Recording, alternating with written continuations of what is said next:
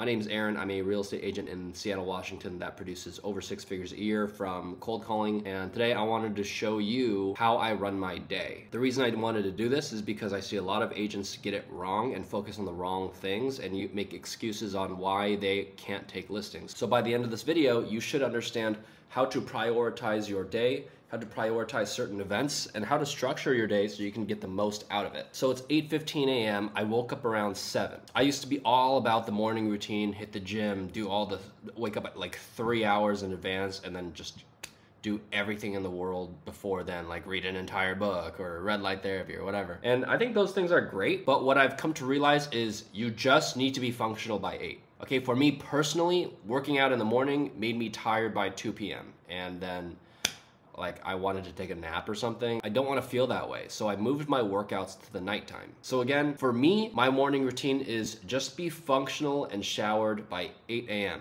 And the purpose of 8 a.m. is because this is when we are legally allowed to start calling people. This is a these, this is like a reasonable time to reach out to someone. So at 8 a.m. I have my yerba mate prepared. This is my source of caffeine. I go through about like nine cups of these a day. And the first thing I do is hop on my Discord. The Discord is a group call of other real estate agents across the United States all cold calling as well. This forces me to be here, which is great pressure to help me build that habit and discipline. If you can push yourself to start cold calling at 8 a.m., that's wonderful. That's great. But it never hurts to have this additional pressure. And also, it's nice to do it with other people. Now, here's something really important. This is actually why I wanted to make this video.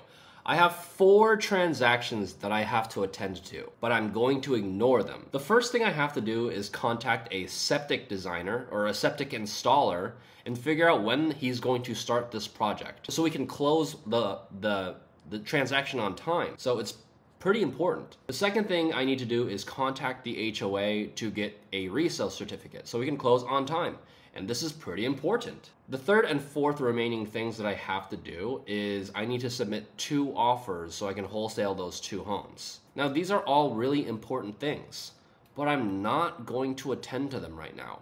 I'm gonna get to them at 11 a.m. The reason I'm going to be ignoring these really important things until 11 a.m. is because I need to lead generate. As a real estate agent and a business owner, you have to realize at some point that your business can't grow without lead generation. Some agents, when they have a few deals under contract, they're like, oh, all my time has to go into servicing these clients. Firstly, no transaction takes all your time. Okay, you can like, you can work on it for one, two hours a day. Like, it, nothing takes an entire day. But agents love to use the excuse of, "Oh, I couldn't lead generate because I have I have this one transaction that's pending and I have to do all this to no, you don't. You're just a poor you're just poor at time management. The second thing is that nothing's going to change whether I do this now or later at 5 p.m. Nothing will change. Okay? And you have to realize that. When I first realized that, it kind of it, it took some time, but it proved it turned out to be correct. Like it doesn't matter whether I contact the septic installer now or at noon. It doesn't matter. The problem is still gonna be there. The problem will still be resolved. A three to eight hour delay is not going to like destroy anything. So this is something I want to drill into your guys' head is don't focus on like these maintenance tasks.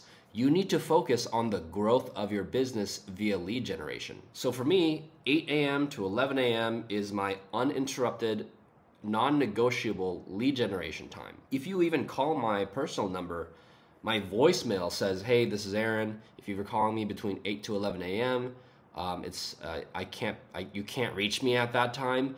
You can either text me or wait till 11 a.m. and I will call you back. I set up these boundaries pro- with professionally with my clients. They all know they can't reach me before 8 to 11.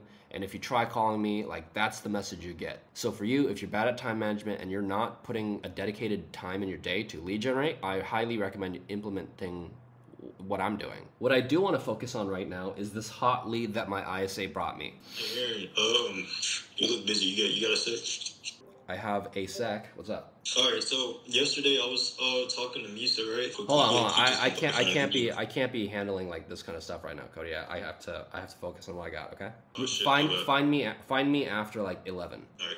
All right, you're good. You're good. That's Cody. Um, he's one of my new students in the academy, and he is just absolutely crushing it. He's creating listings left and right. And, and although I don't want to like cut him off like that, I, I have to protect my time. You know, my time is very valuable, and I hope you can understand that your time is valuable too. All right. Anyway, so um, I've restructured my business. I have several ISAs. That those are inside sales agents.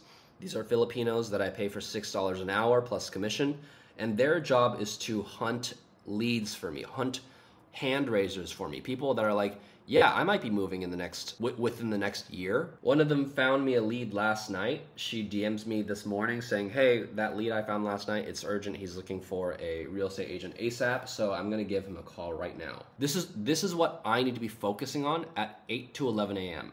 I need to be focusing on the growth and movement of my business, not the maintenance of any transactions that are go- ongoing. My highest dollar producing activity is setting appointments and then going on those appointments to close them. So this guy's named Mr. Kelly. He wants to move away from Seattle. He is downsizing. He will go to the ocean shore. Um, he is cleaning his house right now. He's ready to sell. He has no agent. He's looking for one. He's an old man. The time frame is end of this year. All right, let's give him a call. Yes. Hey, Mr. Kelly, this is Aaron. You spoke to my girl last night about uh, your potential move outside of Seattle. Sounds like you're looking to sell, is that right? Not at this, not today. No, I, I understand. It sounds like you're um, prepping for the move. What's going on? I'm just making a change. Yeah. Yeah, we all like change. Um, yeah, you wanted to move to the ocean shore, yeah? No, I have a house in Ocean Shores. Right. I'm just moving out of Seattle into. Anyway, I just, I'm not gonna, I don't want to talk right now. Thanks. That's okay. Michael, if you. What the fuck? So, for some reason, that guy didn't want to talk. Um, he. Both on the ISA's recording and my recording, he seems a little hesitant to talk to someone, even though he doesn't have a real estate agent. So, I either I or I'm gonna have my listing partner go knock on his door. I think the thing that's amazing about this is um, the lead that she found me is the Redfin estimate is seven hundred eighty nine thousand dollars. So let's just say eight hundred thousand. If I close this at three percent, which I'll get three percent because I'm the listing agent, that's a twenty four thousand dollar commission check, and that one transaction pays for.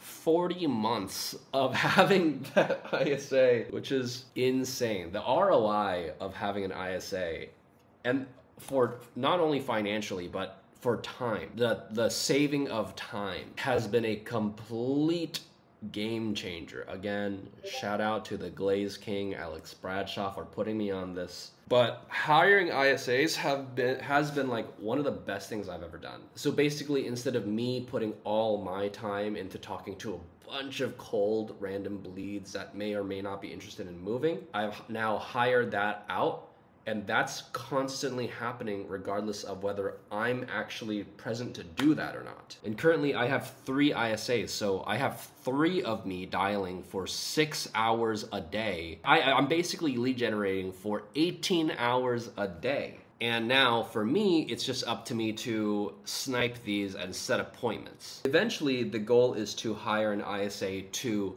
do that for me, or at least like scrape through all my old leads in the CRM to to find the hand raisers so that I can set them down, and also maybe have an, another ISA to find. Uh, appointment schedule. Nice Well, job, this is my like first Zoom. No, no, hold on, Aaron. This is my first Zoom call meeting. So you got time. Right now it's 8:46 a.m. In 15 minutes, I have a call with my Yoon Group agents. So this is the vision call. This is what I do with my Yoon Group agents. This is where I hop on uh, twice a week with them and help them identify and solve problems in their business that they didn't even know they had. It, it allows agents to hear about conversations that they wouldn't be open to. We have this guy in there that does flips. So we're me and the other agents are are listening to him about him seeking out flipping opportunities and how that's going. And so one of my other agents, Shova, was actually like, "Hey, I think I found a flip op- opportunity. I think I can like I think I could flip this." And me me too. Like I just went on the listing appointment where I'm like, "I think I could flip this property." So But like prior to talking to him about this, I don't think I would have thought that way. Uh, and and same goes for my other agent. Or I'm talking about ISAs, and like I have a few agents in there that were like, "Hey, can you put me on this ISA game?" So they're both. I got two agents right now uh, on in the Yoon group on the ISA train, and now they're running a model similar to mine. I got an agent in the Yoon group that wants to be a thought leader in the pre-foreclosure space, similar to how I'm doing what I'm doing. So I'm putting him game on how I'm doing this and how he can take the steps to go that route as a as a pre-foreclosure professional in, in the social media space. So these vision calls are really cool. It allows the Yoon Group agents to see what others are doing and what they could be doing better and I'm there to hold them accountable and it also forces me to grow as well not only as a leader but like you know my guy's doing flips I'm literally listening to him come through come across flip opportunities so I'm doing the same this is cup number two of yerba so basically what I'm saying is I have 15 minutes to get through my calls before I have to hop on a 30 minute vision call so Melody I, I have to get going here but um, Okay. is is this something you'd like to move forward with? Yeah, I would like to find out exactly how the reverse mortgage works. Okay, I will put And, you in um, touch with uh with my person.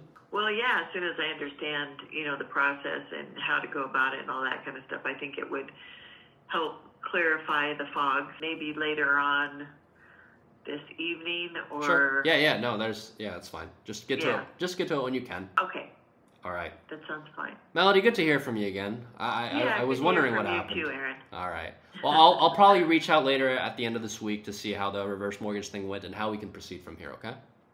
Okay, sounds right. good. Talk to you later. Okay, bye bye. Oh man, that took an hour.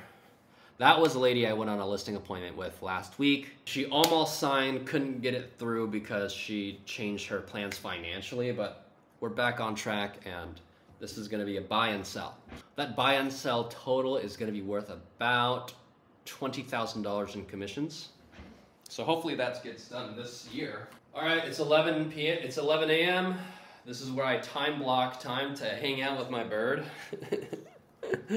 Because he's just been in his room for the last three hours. Oh, you're so cute. Go poop. Oh, good job. Come on. He's potty trained. Right now, I have scheduled for a um, hour-long call with my business partner for the Conversion Academy. We're thinking about switching up our offer instead of helping agents uh, hit 100k cold calling. Th- we're thinking about adding on how to hire ISAs so you don't have the cold call anymore and hit multiple six figures that way. Let's say, let's say we only hit 500. Bro, that's 5 million. Are we about to hit seven figures? Dude, we just need 50 of these clients for half a mil. All right, I gotta go, dude. I have to go. See you later. Okay, I just wrapped up my hour long call, which ended up being two hours long. So I still haven't even eaten lunch. That's why it's so important for me to eat yerba mate because I don't eat breakfast. I don't eat, uh, sometimes I don't eat lunch. In this case, I don't eat lunch. Um, so I need the caffeine to like suppress my appetite and keep me keep me sharp and going so I can eat food at dinner time. I have seven minutes to take care of multiple items like the septic installation and the HOA resale certificate.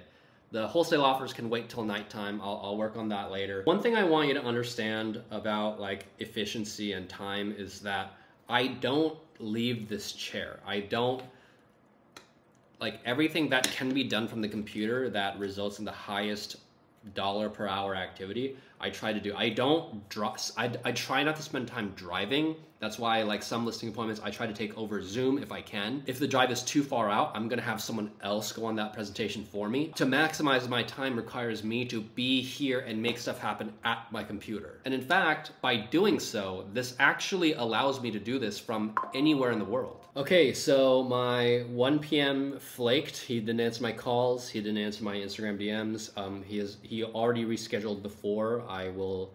I sent a message to my staff to let them know this guy cannot reschedule on my calendar again. Because if you've already rescheduled last minute and you don't show up to that reschedule, you are getting zero time from me. Like you're you're like dead to me. So now I actually have an hour to get all my like previously needed to tasks done.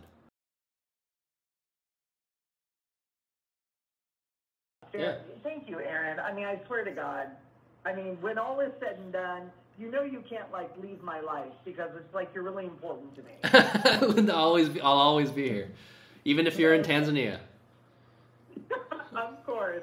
I will, again, thank you for everything, Aaron. You are the best. And um, I will let uh, Kabongo know all of this later. All right, Thank sounds you. good. Yeah, of course. I'll talk to you later. Bye. right, bye. There are some clients that like really stick out in my head, and and this client that I'm I'm working with, she's an expired lead. You know, her house tried to she tried to sell her house before, and uh, unfortunately the agent couldn't price coach her and help her understand like, hey, you are way overpriced. So brought brought them down to reality. Now we're actually making things move. She's able to move forward with her life, and that's what this is all about it's like showing the sellers here's exactly how you do it correctly let me do it for you. And then i'm doing it for them. It's 138 i have a coaching call in tw- 22 minutes.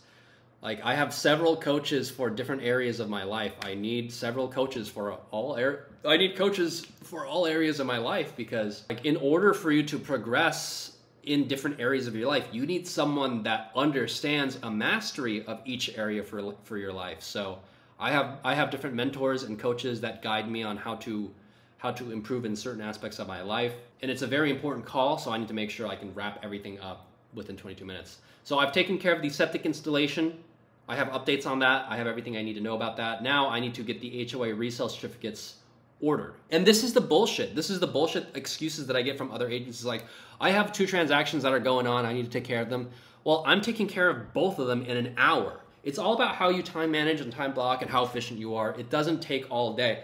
It shouldn't take away from lead generation. Your lead generation shouldn't be affected from like a few transactions that you have. Just get just take care of everything in an hour and you're good. There's 16 waking hours in the day. Like there's this no transaction should take all your fucking time.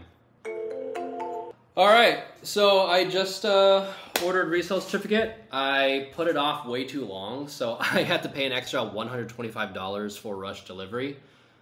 Um, that was my mistake. That was really fucking stupid of me. I, I always put, I always put these things off. I should have had a TC. Like I, sh- I should have a TC for this. I've, I've had two TCs. I stopped working with her every. Like I'm like I don't. Need, I'm not doing enough transactions to like call for a TC. It's fine. And then I put stuff off like this, and it costs fucking four hundred dollars. I'm, I'm paying for the resale certificate. I actually ordered it late, so I had to pay a rush fee for 125, which is uh, which put the total to four hundred dollars. Again, like I, I always put the paperwork stuff like off, and that's it always bites me in the ass. So I, I, I have to delegate that to someone else. I have taken care of both transactions within an hour. All right, I don't want to ever hear from my students like or my agents. Oh, I, I couldn't lead generate. I have to take care of my listings. Shut up, dude.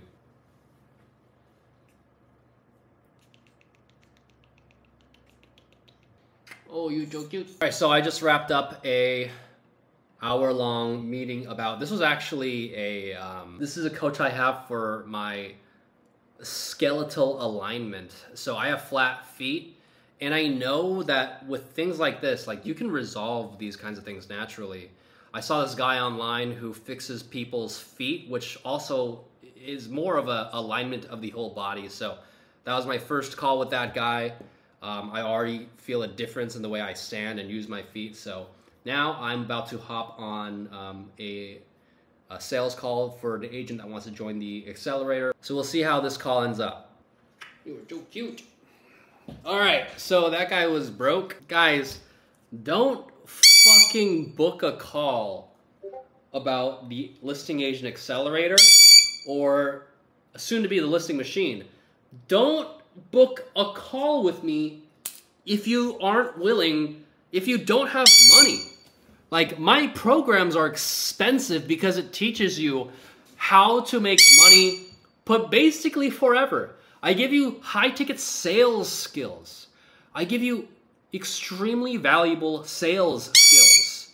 I teach you, like, with this money, you can make millions in your lifetime. Millions in your lifetime. My programs are expensive. My coachings are expensive because they teach you how to make a lot of money. So if you're broke or unwilling to invest in yourself, don't schedule a time with me, please. You're taking time away from me and the other people who want to book a time with me to talk about changing their lives financially. All right, it's 3:43 p.m. right now. Um, I have one more appointment for an agent that wants to join the accelerator, and then maybe I'll eat. Now I know myself.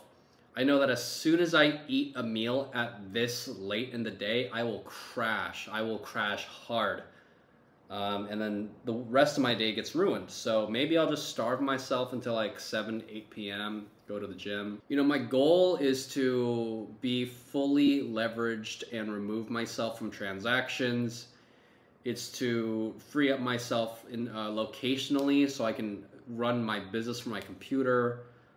Um, that's why I'm going so hard with coaching and scaling and creating leverage in both my coaching and my transactional business is to free myself and build wealth so that I can take care of me and my family. And what I'm realizing now is like the speed of it is so important because you need to be able to make enough money to not only support your life for a year, but you need to be able to make excess what it costs to maintain to maintain your life. So if you need if you have like $10,000 of expenses every month, then you need to take $120,000 and then everything you make after that is what can be invested.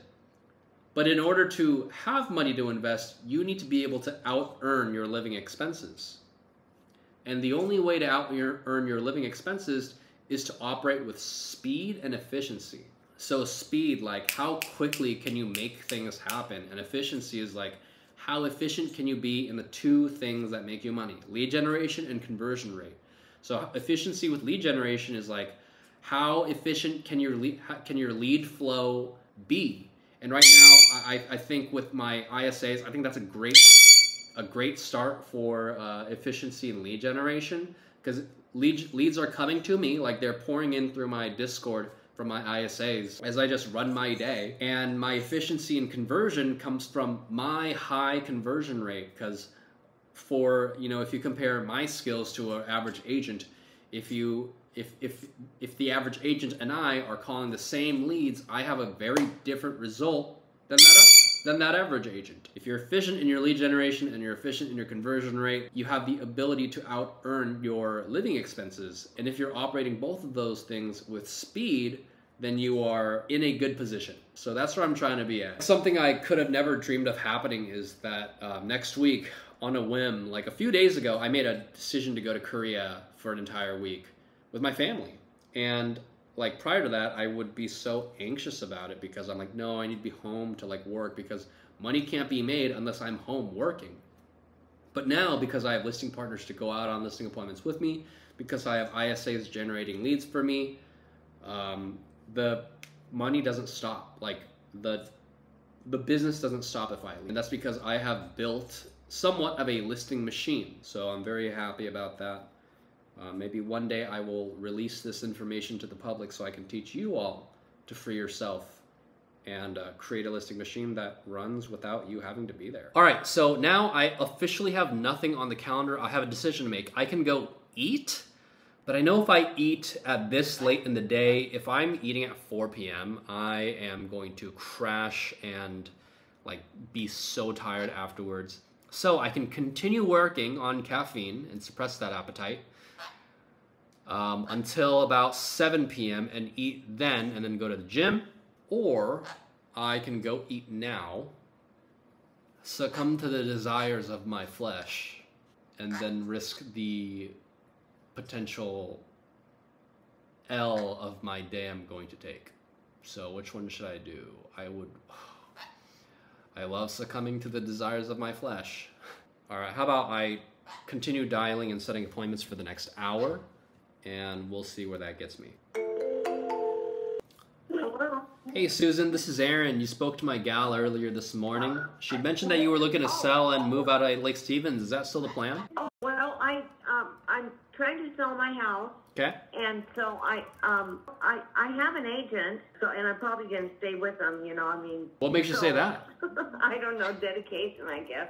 Mm. We can Yeah. get together and go over exactly what this would look like, and then if you like what I have to offer, then you can make them some decisions from there. Okay, well, I, I would love to hear, hear, you know, what you could do for me. Sure. Okay, well, I, I look forward to chatting with you. All right, Susan. I'll talk to you soon. Okay. Okay, thanks All a right, lot. I'll bye. see you soon. Bye bye. Bye. All right, so there is my appointment for Saturday. I guess I could have set that appointment for today, but like, dude, I haven't eaten all day. I'm not wanting to drive out 30 minutes. I might not even go to this appointment. I, I might just send my um, my listing partner out to go to go hunt it down.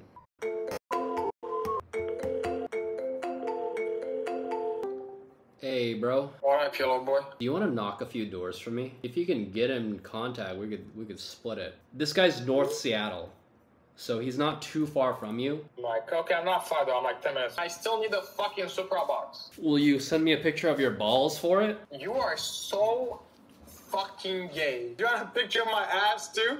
Yeah. this home you sent me to is a fucking shithole. Let me see. Look at this shit. It's uh, it's the one up the stairs. You have to go up the stairs. Yeah, that shit up there? Yeah.